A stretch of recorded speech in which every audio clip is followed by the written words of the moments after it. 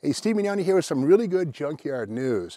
If you're going to be anywhere near Sherman, Texas on March 24th and 25th, know that there's going to be an outdoor auction uh, put on by duncansauctions.com of over 200 solid Texas parts vehicles. It's going to be Fords, GM, Mopar, lots of tractors, and even forklifts. These things all have to go. It's an online auction, but also an on-site auction. If you happen to be in Sherman, Texas, you can go and bid in person or again, online, but all 200 vehicles have to go. Don't let them get crushed. To learn more about this auction, which happens on March 24th and 25th of 2023, uh, check it out on duncansauctions.com. And keep in mind, if you're seeing this after March 24th or 25th, 2003, the auction's over with. But before then, make sure you check it out and save some of these cars. Don't let them go to the crusher.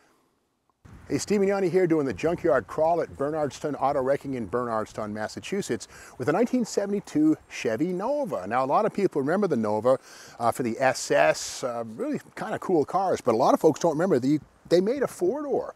Now this is a, a, third generation Nova. These were built between 1968 and 74. And the four-door version arrived in 1972. In 73, actually, there was even a hatchback. In fact, we did a video on a hatchback Nova maybe about a month ago. Check it out in the uh, show description if you want to see what a hatchback Nova looks like from 73. But again, this one here is a 1972 four-door. And I gotta remember, 1972 was the year right before the OPEC oil crisis, and sales of small cars were, were, were happening, but but still, in 72, 44% of all Chevrolets sold were full-size models, and believe it or not, the Nova only accounted for 15% of Chevy sales. The Vega, of course, was also new in 71, and so maybe nibbled into the small Nova sales, the Vega being even smaller than Nova. Now, this one being a four-door, uh, of the, there were two, 260,000 two-doors built in 72, and only 89,518 four-doors. So like two to one, something like three to one ratio. The two doors were far more popular. Now here's the thing, the base price on this car was 2,379 bucks, only $28 more than a two door. So if you had a family and you wanted a, compact Chevrolet, the Nova four door wasn't a bad call. Now at the back of this, we can see 1972, the final year for the rigidly mounted rear bumper. 1973 would bring the two and a half mile per hour bumper here with a, a shock absorber to help absorb impacts. Again, 1972, final year for 1970 for the uh, the for the standard rear bumper. But on this one here, we can see that the deck lid is nailed shut. We can't really open that. So we'll continue our little trek around here. And here is the four-door function right here. Now this one is a basic, basic stripper. We can see inside this one has the automatic on the column, not a three-speed manual, which was certainly possible. But look at this rubber floor mat. That's not carpeting. That's actually hard blue rubber. And again, that's what uh, you got if you got the base Nova. This stuff right here is hard rubber, bench seat up front. Again, no super sport here. But again, 1972, first year for the four door. And we can see right here a, a uh, full rear door.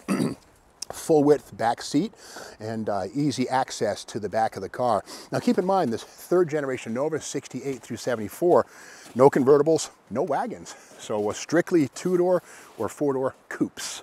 Let's look at the front of this thing and we can see right here there's no engine logo, there's no 350, nothing happens. So we know it's a six banger and under the hood, sure enough, yeah, there it is. This is the 250 cubic inch six cylinder Chevy inline.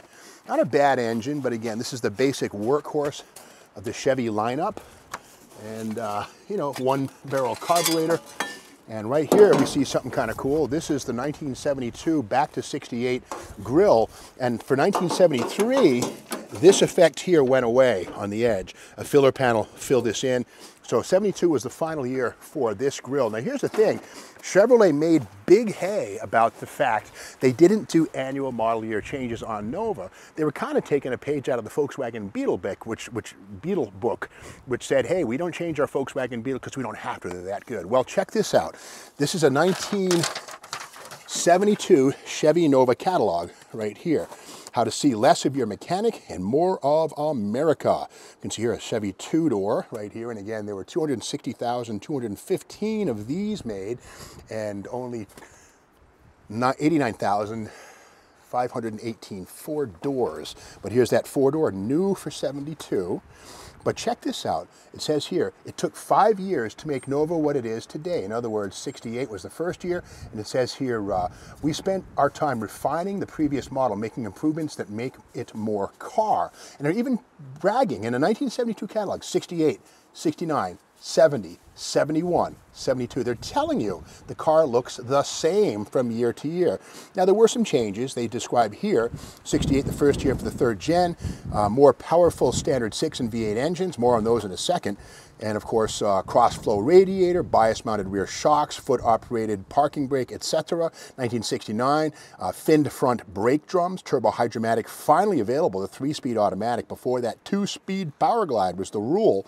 Of course, the three-speed was optional. You could still get the two-speeder. 1970, hidden antenna, factory-installed radios, uh, low-profile tires, and in 71, new side terminal energizer battery, and of course uh, operating on low lead fuels. That's right eight and a half to one compression and of course softer instrument panel knobs. That side terminal battery by the way is long gone but the selling point on that believe it or not was that the circular side post had more contact area than a traditional post. Who knows? The only bummer with those things is when that little screw in thing strips out it's not fun. And beyond that, if you're trying to jump your battery, batteries, a little tiny nub to put your, your, your, clamp on, not a lot of fun. The side post batteries kind of suck if you ask anybody who dealt with them. But here's the thing, on this Nova, the other end of the range was this, 1968.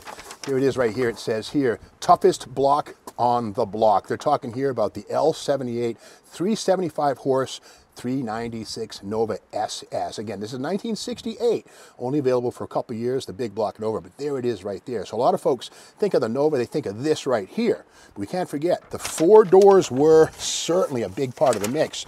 And in 1972, the four-door production was a, pretty big chunk. There were a total of uh, 68,000 or so of these things. But with that said, this one is a very utilitarian car. Now, the good news is you can put a big block in one of these things. Uh, the downside is that Chevrolet never made a four-door SS until you get into the Impala SS of the 1990s. But uh, wouldn't that have been cool? You know, a 396 four-speed, four-door Nova Sleeper, Nova Deluxe. That'd be an awesome thing. But again, the only way to get a big block in a Nova was through the SS package. Uh, and speaking of that kind of thing, in 72, you could still get the 354 barrel with a four-speed transmission in your Nova, but again, only in the SS. You get a 307 if you wanted the non-SS cars, and a 352 barrel, but the 354 barrel was only SS stuff, dual exhaust, etc. But that's the story of how the Chevy Nova wasn't always a two-door. In fact, a whole bunch of them were four-doors, like this one right here. Now, if you like this video, be sure to subscribe to the Steve Maggs YouTube channel. Uh, hit the like button, share this with your friends, and hit the bell so that you know when the next video comes out, which is tomorrow morning.